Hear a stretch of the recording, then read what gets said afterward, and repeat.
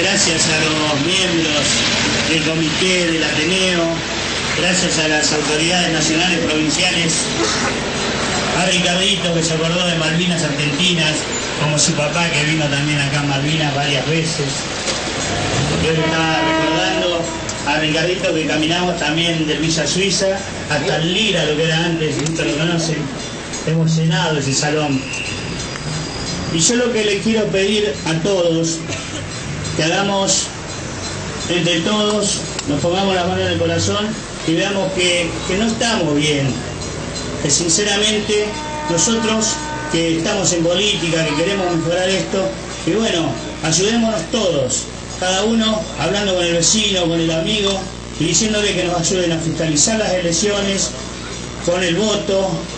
Y bueno, yo es eso nomás lo que le quería pedir. No quiero extenderme, no quiero tampoco hacer un gran discurso, no soy un gran político, soy un muchacho de barrio, ustedes me conocen todos, y tuve la suerte en algún momento de poder ayudar a la gente cuando hicimos cursos, cuando hicimos otros eventos.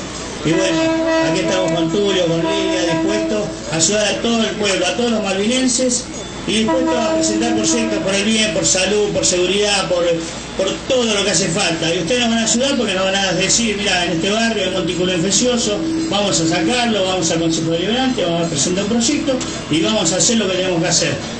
Nada más, le dejo las palabras a Ricardito, que es el, el, el que tiene que hablar y explicar a todos y darle fuerza. Ánimos y vamos a ganar.